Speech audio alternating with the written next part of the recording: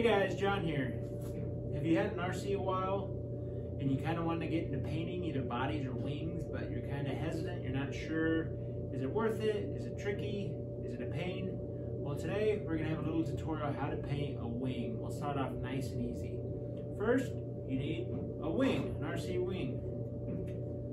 And then what I've done here is I've just taped off, I've used Tamiya masking tape, just taped off a random design zigzag I'm going to start off with a black base, so the main color is going to be black.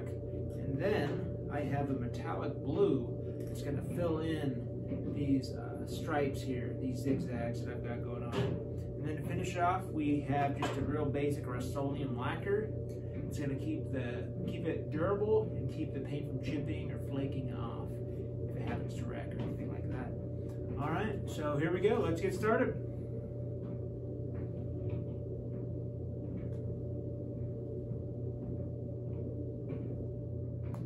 So we're gonna start off with our Duratrax RC car paint. This is just a plain basic black. We're gonna start with that for the base coat. When you start off, make sure that you shake this quite a bit. You wanna make sure that the paint is even without splotches or splatters. Make sure you shake it well. As you put on your second coat, look for any uh, light spots that you've maybe missed on your first coat and make sure you hit those a little better on your second.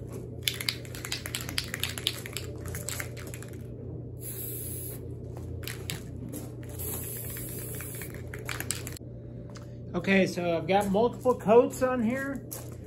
It's dry to the touch, so I'm just gonna spend some time taking the paint off before we put, before we're able to paint it. So take the tape off and then we'll paint it blue.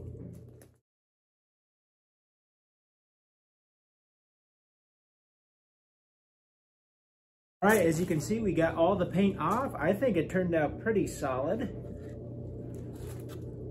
See, the, the lines came out pretty clean. I think it looks pretty darn slick.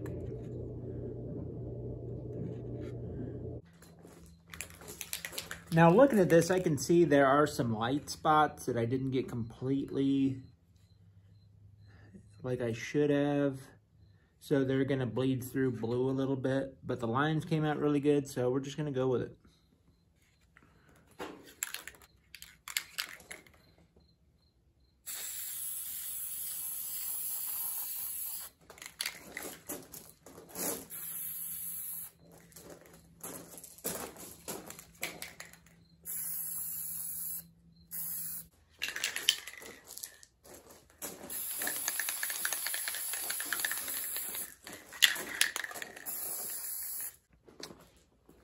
So now we've got it painted. Now we're just gonna put on a few coats of Rust-Oleum lacquer.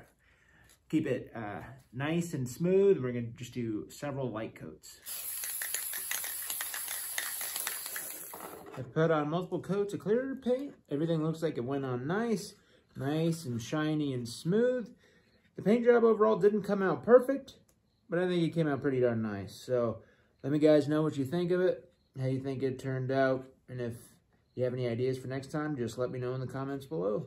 All right, guys. Thanks for watching. Have a good one.